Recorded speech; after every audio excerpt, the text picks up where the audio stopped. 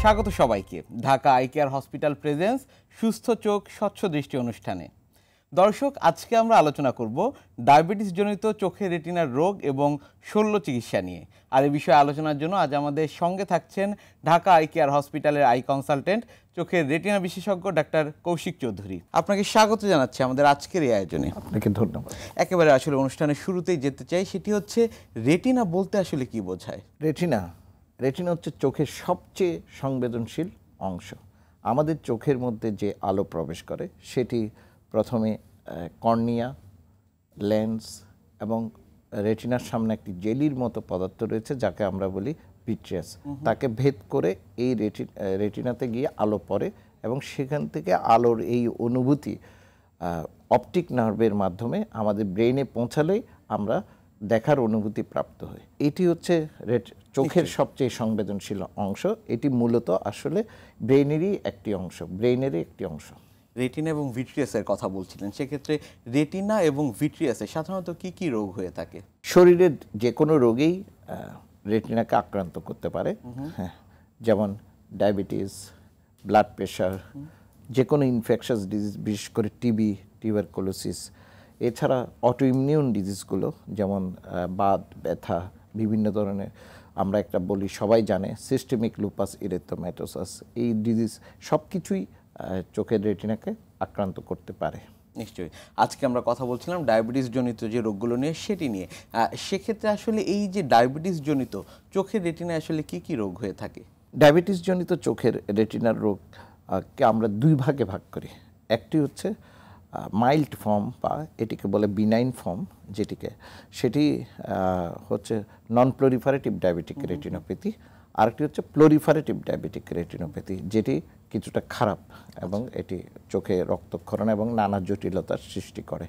এখন নন proliferative diabetic retinopathy যেটি এটিকে আমরা চার ভাগে ভাগ করে থাকি একটি হচ্ছে মাইল্ড ফর্ম মাইল্ড অ্যানপিডিয়ার আর হচ্ছে মডারেট অ্যানপিডিয়ার আর হচ্ছে সিভিয়ার অ্যানপিডিয়ার এবং ভেরি সিভিয়ার অ্যানপিডিয়ার এর মধ্যে যে এই রোগগুলো এই নন প্লোরিফারেটিভ ডায়াবেটিক রেটিনোপ্যাথি যদি কোনো রক্তক্ষরণ না থাকে যদি চোখের যে অংশটা দিয়ে দেখ- দেখে সেই অংশে যদি পানি এবং চর্বি জমা না থাকে বেশিরভাগ ক্ষেত্রে জমা থাকে যদি জমা না থাকে এগুলো আমরা ফলো আপ করি। আচ্ছা। চিকিৎসা পদ্ধতি। আর যদি থাকে জমা পদ্ধতি জমি যদি পানি জমে থাকে চর্বি জমে থাকে সেগুলো আমরা ইনজেকশন অনেক সময় লেজার দিয়ে চিকিৎসা করে থাকি। আর হচ্ছে প্লোরিফারেটিভ ডায়াবেটিক রেটিনোপ্যাথি সেটি খুবই খারাপ ধরনের ডায়াবেটিক রেটিনোপ্যাথি এটা ডায়াবেটিক রেটিনোপ্যাথির অ্যাডভান্স ফর্ম হচ্ছে বলতে পারি। এটিকে আমরা আবার বিভিন্নভাবে ভাগ করে থাকি, যেমন হাইরিক্স পিডিয়ার তিন ভাগে সাধারণত তিন ভাগে ভাগ করে থাকি। তো যাই হোক তবে তবে এই ডিজিজটা এই non proliferative proliferative diabetic retinopathy এটি কিন্তু খুব খারাপ। এটির ক্ষেত্রে ভঙ্গুর রক্তনালীর সৃষ্টি হয়। এই ভঙ্গুর রক্তনালীগুলো অনেক সময় ফেটে গিয়ে ভিট্রিয়াসের রক্তক্ষরণ করে। যেটিকে আমরা বলি ভিট্রিয়াস হ্যামোরিচ এছাড়া এটি যেটা করে সবচেয়ে ডিভাস্টেটিং সেটি হচ্ছে অ্যাডভান্স ডায়াবেটিক আই ডিজিজ যেটা করে সেটাই হচ্ছে এটাই প্লোরিফারেশন হয়। এই পদ্মা, এই ভঙ্গুর রক্তনালীটা বেড়ে যায়। বেড়ে গিয়ে একটা পাতলা পদ্মার মতো সৃষ্টি করে। সে পাতলা পদ্মাটা সংকুচিত হয়ে রেটিনাকে সামনের দিকে নিয়ে আসে। এটিকে বলি আমরা ট্র্যাকশনাল রেটিনাল ডিটাচমেন্ট অনেক সময় এটি ছিদ্রেরও সৃষ্টি করতে পারে রেটিনাতে তখন আমরা বলি বোধ ট্র্যাকশন এবং কম্বাইন মানে কম্বাইন্ড রেটিনাল ডিটাচমেন্ট ট্র্যাকশনও থাকে সাথে ছিদ্রের সৃষ্টি করে থাকে। তার মানে এটি খুব খারাপ ডিজিজ রেটিনাকে পার্মানেন্টলি এটি নষ্ট করে ফেলতে পারে। নিশ্চয়ই আমরা যদি একটু ছবির মাধ্যমে দেখে নিতে পারি। এই যে আমরা দেখছি এটা আসলে ভেরি সিভিয়ার অ্যানপিডিয়ারের একটি চিত্র। পরবর্তী ছবিতে আমরা যাব। হ্যাঁ এটি ভেরি সিভিয়ার অ্যানপিডিয়ারের সাথে ওই আমরা যেহেতু বলছি যে চোখের রেটিনার কেন্দ্রে পানি জমেছে মেকুলাতে পানি জমেছে। আচ্ছা। এটি হচ্ছে প্লোরিফারেটিভ ডায়াবেটিক রেটিনোপ্যাথি আমরা দেখছি যে চোখের যে নার্ভটা আছে সেটাকে অলরেডি প্লোরিফারেশন বা ভঙ্গুর রক্তনালী সেটাকে ঢেকে ফেলেছে। ফ্যান শেপ যে আচ্ছা। সেটাকে ঢেকে ফেলেছে। এবং তার এই ভঙ্গুর রক্তনালী যত কালপিট এবং এটি খুব খারাপ ধরনের ডিজিজ সৃষ্টি করতে পারে। নিশ্চয়ই। পরের ছবিতে দেখব একটু আমরা। এই যে রক্তক্ষরণ সৃষ্টি করেছে ভঙ্গুর রক্তনালী এটি দেখা যাচ্ছে। আমরা পরবর্তী ছবির মাধ্যমে একটু দেখে নিতে এই যে ট্র্যাকশন আমি যে বলেছি যে ভঙ্গুর রক্তনালী প্লোরিফারেশনে বেড়ে গিয়ে একটা পাতলা পদ্মার মতো সৃষ্টি করে, সেই পদ্মা রেটিনাকে টান দিচ্ছে। এটিকে ট্র্যাকশনাল রেটিনাল ডিটাচমেন্ট আমরা বলে থাকি। সেক্ষেত্রে আসলে আরেকটি বিষয়, আমরা অনেকগুলো বিষয় শুনছিলাম, রোগগুলো কি কি রয়েছে, ধাপগুলো আপনি বলছিলেন। সেক্ষেত্রে একেবারে প্রাথমিক পর্যায়ে আমি যদি একটু আপনার কাছ থেকে জেনে নিতে পারি, লক্ষণ উপসর্গ আসলে কেমন থাকে? কারণ রোগীরা তো শুরুতেই আসলে চিকিৎসকের শরণাপন্ন হন না। কি দেখে আসলে তারা বুঝবেন? আসলে এখন আমরা ডায়াবেটিক সচেতন আমাদের ন্যাশনাল আই কেয়ার জাতীয় ন্যাশনাল আই কেয়ারের অনেকগুলো প্রোগ্রাম আছে। এই যে জাতীয়ভাবে এটি আমাদের সরকার পরিচালিত করে। সেই পরিচালিত ডায়াবেটিক রেটিনোপ্যাথি স্ক্রিনিং একটি গুরুত্বপূর্ণ। এছাড়া যারা- ডায়াবেটিস রোগী আমরা তাদেরকে বলে থাকি চোখের ডাক্তাররা বলে থাকে তারা রোগীর চোখ ছয় থেকে এক বছর পর পর চোখ দেখাবে। এখন দেখাতে গেলেই অনেক সময় দেখা যায় যে অনেক সময় যাদের মাইল্ড টু মোডারেট ফর্ম আছে তাদের সাধারণত কোনো কমপ্লেন থাকে না। যদি ইতে যে চোখের যে কেন্দ্র বা মেকুলাতে যদি কোনো পানি বা চর্বি জমে না থাকে যদি পানি বা চর্বি জমে থাকে তখন রোগীরা বলে আমরা চোখে কম দেখছি। এই কমপ্লেনটা নিয়ে আসে। এছাড়া প্লোরিফারেটিভ ডায়াবেটিক রেটিনোপ্যাথি যেটাকে আমি বলেছি কিছুক্ষণ আগেই যে এটা খুব খারাপ ধরনের একটি অসুখ সেই ক্ষেত্রে অনেক সময় যে রেটিনাতে রেটিনাতে রক্তক্ষরণের সৃষ্টি হয় সেই রক্তক্ষরণ অনেক সময় ফেটে গিয়ে চোখের যে ভিট্রে আছে রক্তক্ষরণ করে এবং রোগীর দৃষ্টি ঝাপসা হয়ে আসে। এটি একটি আর এইটি মূলত আরেকটা যেটা করে সেটা হচ্ছে এটা একটু প্লোরিফারেশন পাতলা পদ্মার মতো সৃষ্টি করে। সেই পদ্মাটা সংকুচিত হয়ে রেটিনাকে সামনের দিকে নিয়ে আসে এবং রেটিনাকে পারমানেন্টলি ড্যামেজ করতে পারে পারে। রেটিনা ট্যাকশনাল রেটিনা ডিটাচমেন্ট বলি। তো প্লোরিফারেটিভ ডায়াবেটিক রেটিনোপ্যাথিটার ক্ষেত্রে দৃষ্টিশক্তি অনেক কমে আসে। অনেক সময় রক্তক্ষরণ হলে রোগী বলে চোখের সামনে যেন লাল লাল কি যেন ভাসছে এবং চোখের দেখতে পাচ্ছে না দৃষ্টি ঝাপসা হয়ে আসছে। এটি সাধারণত ডায়াবেটিক রোগীরা আমাদের কাছে কমপ্লেন নিয়ে আসে। চোখের সার্জারি সার্জারি শব্দটি শুনলে আসলে রোগীরা কিন্তু এক ধরনের ভয়ের মধ্যে দিয়ে যান এক ধরনের আতঙ্কের মধ্যে দিয়ে যান। কখন এবং কোন ক্ষেত্রে সার্জারি আসলে প্রয়োজন হয়ে থাকে? ডায়াবেটিক রেটিনোপ্যাথির ক্ষেত্রে সাধারণ আমি কিছুক্ষণ আগেই বলেছি, যদি চোখের যে কেন্দ্র, সেটা প্লোরিফারেটিভে হতে পারে নন প্লোরিফারেটিভ কেন্দ্রে, সেখানে পানি এবং চর্বি জমতে পারে হ্যাঁ? সেক্ষেত্রে আমরা সাধারণত ইঞ্জেকশন বা লেজার দিয়ে চিকিৎসা করে থাকি। কিন্তু সার্জারি কখন লাগে? যখন আমি কিছুক্ষণ আগেই বলেছি যে, ভঙ্গুর রক্তনালী যদি ফেটে গিয়ে ভিট্রাস চোখের সামনে রেটিনার সামনে যে জেলির মতো পদার্থ আছে, তাতে যদি রক্তক্ষরণ হয়, চোখের দৃষ্টিশক্তি ঝাপসা হয়ে আসে, সেটি আমরা সাধারণত অপারেশনের মাধ্যমে পরিষ্কার করে থাকি, অপারেশন, যে ভিট্রেকটমি অপারেশন। ভিট্রেকটমি অপারেশন করে আমরা ভিট্রেসটাকে কেটে ওখানে লেজার করে দিই, এই যে ভঙ্গুর, তাতে ভঙ্গুর রক্তনালীগুলো রিগ্রেস হয়ে যায় এবং সাধারণত ব্লিডিংটাও কম হয়। নিশ্চয়ই।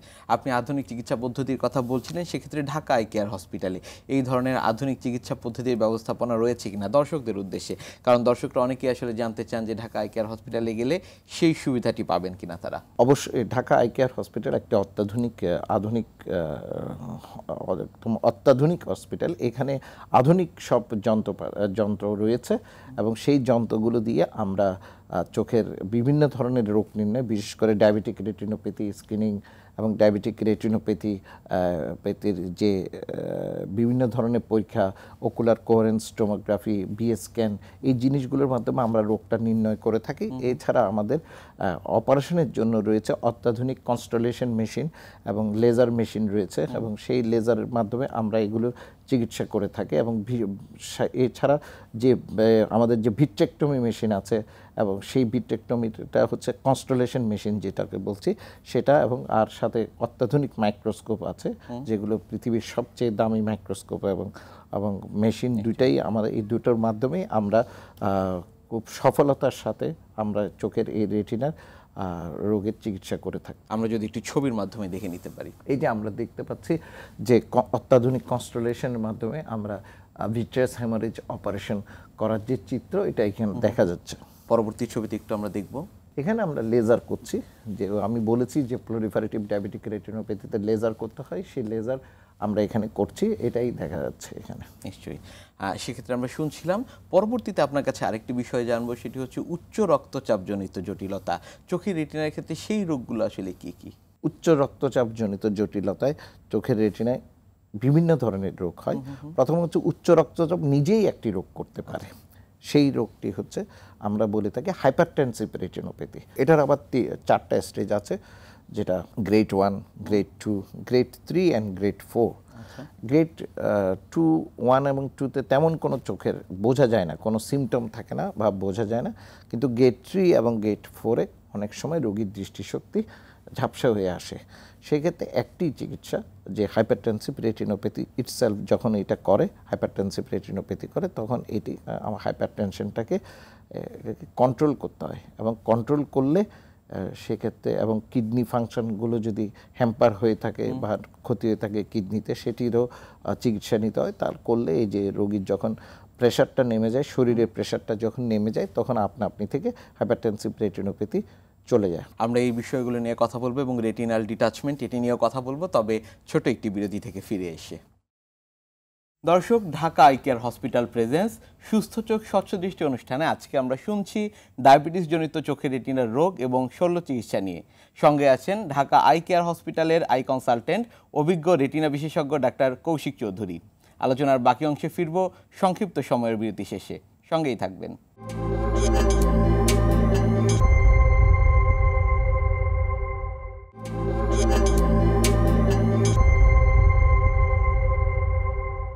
বিরতি শেষে ফিরে এলাম Dhaka eye care hospital presence, সুস্থ চোখ, স্বচ্ছ দৃষ্টি অনুষ্ঠানে। ফিরছি ডায়াবেটিস জনিত চোখের রেটিনার রোগ এবং শল্য চিকিৎসা নিয়ে আজকের আলোচনায়। সঙ্গে আছেন ঢাকা আই কেয়ার হসপিটালের আই কনসালটেন্ট চোখের রেটিনা বিশেষজ্ঞ ডাক্তার কৌশিক চৌধুরী। ফিরছি আলোচনায়। স্যার, বিরতিতে যাবার আগে আমরা অনেকগুলো বিষয় নিয়ে শুনছিলাম। আপনার কাছে উচ্চ রক্তচাপ নিয়ে শুনছিলাম, জটিলতা, পরবর্তীতে আসলে ডায়াবেটিস জটিলতা, সেক্ষেত্রে আসলে রেটিনাল ডিটাচমেন্ট, এর আসলে কোনো প্রকারভেদ রয়েছে কিনা? রেটিনাল ডিটাচমেন্ট এর প্রকারভেদ যে রেটিনাল ডিটাচমেন্ট এটি ডায়াবেটিসের কারণেও হতে পারে। এবং ডায়াবেটিসের কারণে কীভাবে রেটিনাল ডিটাচমেন্ট কিছুক্ষণ আগেই আমি বলেছি, সেটি হয় হচ্ছে প্লোরিফারেশন বা যে প্লোরিফারেটিভ ডায়াবেটিক রেটিনোপ্যাথি সেই ক্ষেত্রে অনেক সময় ভঙ্গুর রক্তনালীর সৃষ্টি হয়। সেই ভঙ্গুর রক্তনালী প্লোরিফারেশন বা বেড়ে গিয়ে একটি পাতলা পদ্মার মতো সৃষ্টি করে। সেই পাতলা পদ্মা রেটিনার উপর দিয়ে বেড়ে সংকুচিত করে রেটিনাকে সামনের দিকে নিয়ে আসে। এটিকে বলে ট্র্যাকশনাল রেটিনাল ডিটাচমেন্ট এটি আবার অনেক সময় রেটিনাতে ছিদ্রের সৃষ্টি করতে পারে। সেই ছিদ্র যদি করে, তাহলে কম্বাইন্ড রেটিনাল ডিটাচমেন্ট যে ছিদ্রের মাধ্যমে মাধ্যমে, মাধ্যমেও রেটিনার ডিটাচমেন্ট হচ্ছে, আবার টানের মাধ্যমে হচ্ছে। এটাকে কম্বাইন্ড রেটিনার ডিটাচমেন্ট বলে থাকি। সেই কম্বাইন্ড রেটিনার ডিটাচমেন্ট যদি হয়ে থাকে, এগুলোকে আমরা শল্য চিকিৎসার মাধ্যমে অপারেশন করে সাধারণত আমরা রোগীকে একটি কার্যকরী দৃষ্টিশক্তি দেওয়ার চেষ্টা করে থাকি। রেটিনাল ডিটাচমেন্ট এর চিকিৎসা পদ্ধতি, স্যার, কি কি রয়েছে এবং আধুনিক চিকিৎসা পদ্ধতি কি রয়েছে এবং সেটি বাংলাদেশে হচ্ছে কিনা? হ্যাঁ এই যে আমরা যে রেটিনার ডিটাচমেন্ট বা এই ডায়াবেটিস জনিত রেটিনা সেটা একটি চিকিৎসা পদ্ধতি সেটা হচ্ছে প্লাস প্ল্যানাভিট্রেক্টমি প্লাস প্ল্যানাভিট্রেক্টমি করে আমরা যেটা দেখেছি কিছুক্ষণ আগে যে আমাদের অত্যাধুনিক মেশিনের মাধ্যমে কনস্টলেশন মেশিনের মাধ্যমে স্ক্লেরাতে তিনটা ফুটো করে আমরা রেটিনা ভিট্রাসটে কেটে এবং তার মেমব্রেনগুলোকে আমরা সেপারেট করে বা আলাদা করে আমরা রেটিনাকে সেটেল করি এবং লেজার করে থাকি। এটির মাধ্যমে আমরা চোখের যে সেন্টার অংশটা আছে বিশেষ করে সেটিকে আমরা প্রিজার্ভ করার চেষ্টা করি এবং এটার ফলে রোগীর চোখের দৃষ্টিশক্তি ভালো থাকে বা একটা কার্যকরী দৃষ্টিশক্তি রোগী পেয়ে থাকে যেটার মাধ্যমে একদমই রোগী পরবর্তী জীবনে দেখার অনুভূতি প্রাপ্ত হয়। নিশ্চয়ই। আমরা যদি একটু ছবির মাধ্যমে স্যার দেখে নিতে পারি। এটা তো হেলদি আই আমরা দেখতে পাচ্ছি এই যে রেটিনাল ডিটাচমেন্ট হয়ে যাচ্ছে ট্র্যাকশনের ওখানে আবার ছিঁড়েও গেছে এটা ট্র্যাকশনাল রেটিনাল ডিটাচমেন্ট এগুলো আমরা সাধারণত ভিট্রেক্টমি অপারেশনের মাধ্যমে করে থাকি। নিশ্চয়ই। পরবর্তী ছবিতে একটু আমরা দেখব। এটা ট্র্যাকশনাল রেটিনাল ডিটাচমেন্ট ডায়াবেটিস জনিত এবং এই ট্র্যাকশনটা রেটিনাকে টান দিচ্ছে আমরা এই ট্র্যাকশনটা ভিট্রেক্টমির মাধ্যমে কেটে দিলে সাধারণত রেটিনা সেটেল হয়ে যায়। ডায়াবেটিস রোগটি নিয়ে আমরা কথা বলছিলাম সেক্ষেত্রে আসলে ডায়াবেটিসের কারণে রেটিনাল ডিটাচমেন্ট হতে পারে কিনা? ডায়াবেটিসের কারণে এই তো কিছুক্ষণ আগেই বলেছি যে ডায়াবেটিসের কারণে রেটিনাল ডিটাচমেন্ট হতে পারে। যে প্লোরিফারেটিভ ডায়াবেটিক রেটিনোপ্যাথি যেটির মধ্যে ভঙ্গুর রক্তনালী সৃষ্টি হয় সেই ভঙ্গুর রক্তনালী অনেক সময় পাতলা পদ্মার মতো সৃষ্টি করে সেই পদ্মা রেটিনার সামনে বেড়ে গিয়ে সংকুচিত হয়ে রেটিনাকে সামনের দিকে নিয়ে আসে। অনেক সময় এটি রেটিনাতে ছিদ্রের সৃষ্টিও করতে পারে এবং এইভাবেই রেটিনাল ডিটাচমেন্ট এর সৃষ্টি করে। ধন্যবাদ স্যার আপনাকে। ডায়াবেটিস রেটিনা চিকিৎসা কীভাবে স্যার করা হয়ে থাকে? আরেকটি বিষয় সেটি হচ্ছে রোগীরা আমরা জানি যে সময় মতো চিকিৎসকের শরণাপন্ন হন না। সময় মতো যদি চিকিৎসকের কাছে না এসে থাকেন তাহলে আসলে পরবর্তীতে জটিলতা কি কী হতে পারে? ডায়াবেটিস জনিত চোখের রেটিনার রোগের রোগের ক্ষেত্রে আমরা যেটা রোগ দেখি যে আমরা রোগ নির্ণয় করেছি সব কিছু করেছি রোগীকে কাউন্সিলিংয়ে করেছি যে আপনার ইঞ্জেকশন লাগবে লেজার লাগবে কিন্তু রোগী অনেক সময় জিনিসগুলোকে গুরুত্বের সাথে নেয় না বা অনেকের কিন্তু আবার আর্থিক অসুবিধাও থাকতে পারে। তো সেক্ষেত্রে অনেক সময় দেখা যায় যে দেরিতে চিকিৎসা শুরু করার ফলে রোগীর রোগীর যে ট্র্যাকশনাল রেটিনাল ডিটাচমেন্ট হতে পারে বা মেকুলাটা চোখের যে অংশটা কেন্দ্রটা মেকুলাকে ট্র্যাকশন দিয়ে রাখে এক্ষেত্রে দেখে বা রোগীর দেখার যে জায়গাটা ওইটা অনেক সময় ব্লাড সার্কুলেশন কমে গিয়ে ইস্কেমিক মেকুলোপ্যাথি বলে এটা সৃষ্টি করতে পারে তখন রোগীর দৃষ্টিশক্তি অনেকাংশে কমে যায়। আঘাতজনিত কারণে কি কি আসলে স্যার রেটিনার সমস্যা হয়ে থাকে? আঘাতজনিত কারণে রেটিনাতে নানা ধরনের সমস্যা হয়ে থাকে। অনেক সময় আঘাতজনিত কারণে রেটিনাতে রক্তক্ষরণ হতে পারে। রেটিনার সামনে যে ভিট্রাস আছে সেখানে রক্তক্ষরণ হতে পারে। রেটিনাতে অনেক সময় ছিদ্রের সৃষ্টি হতে পারে। সেই ছিদ্র দিয়ে পানি রেটিনার পিছনের দিকে গিয়ে রেটিনাল ডিটাচমেন্ট সৃষ্টি করতে পারে। অনেক সময় সময় রেটিনার পেছনে যে একটা লেয়ার রয়েছে যেটাকে বলি আমরা করয়েড সেখানে অনেক সময় দাগের সৃষ্টি করতে পারে হতে পারে করেডাল স্কার বলি।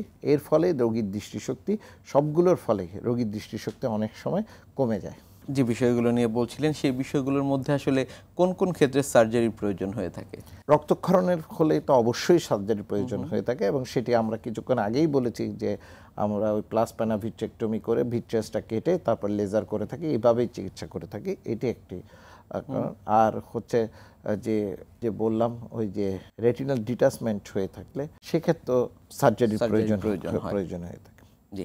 চোখের প্রদাহজনিত রোগ সেগুলো আসলে স্যার কি কি? এবং এক্ষেত্রে আসলে আপনার কাছে একটু জেনে নিতে চাই সেটি হচ্ছে কখন আসলে সেই চোখের সার্জারির প্রয়োজন হয়? চোখের প্রদাহজনিত রোগ শরীরের যে কোনো প্রদাহজনিত রোগ চোখে অ্যাটাক করতে পারে চোখে আক্রান্ত করতে পারে চোখকে এবং সেই জিনিসগুলোর মধ্যে বাত বিভিন্ন এই বাত কিন্তু আবার অনেক সময় হতে পারে যেমন টিউবারকুলোসিস টিউবারকুলোসিস মানে ইনফেকশাস ডিজিজের ক্ষেত্রে ইনফেকশাসও হতে পারে আবার নন ইনফেকশাস হতে পারে। ইনফেকশাসের মধ্যে টিবিটাই আমাদের এই সাবকন্টিনেন্টে বা এই উপমহাদেশে সবচেয়ে বেশি করে। আমাদের দেশেও তাই আছে টিবি রোগ বা যক্ষা রোগ এটি চোখের যক্ষা বলি এটা এটাতে অনেক সময় চোখের বিভিন্ন ধরনের প্রদাহজনিত রোগ হতে পারে। অ্যান্টিরিয়রলি চোখের সামনের দিকে যে ধূসর অংশে সেখানেও প্রদাহ করতে পারে। আবার পেছনে যে রেটিনার লেয়ার আছে সেখানেও প্রদাহ করতে পারে। করিডো প্রদাহ করতে পারে। রেটিনার পেছনের যে চোখের যে লেয়ার সেখানে প্রদাহ করতে পারে। ইনফ্ল্যামেশন বলি। তো এই প্রদাহ করলে এই পোস্টেরিয়রে বা অ্যান্টিরিয়র ইউভাইটিসের ফলে চোখের দৃষ্টিশক্তি অনেক সময় সময় কমে যায় এবং চোখের রেটিনা পারমানেন্টলি ক্ষতি হতে পারে। আরেকটি গুরুত্বপূর্ণ বিষয় স্যার আপনার কাছ থেকে জানব সেটি হচ্ছে আর পি এটি কি স্যার? এবং আরোপি জনিত জটিলতার ক্ষেত্রে কখন আসলে শল্য চিকিৎসার প্রয়োজন পড়ে? হ্যাঁ।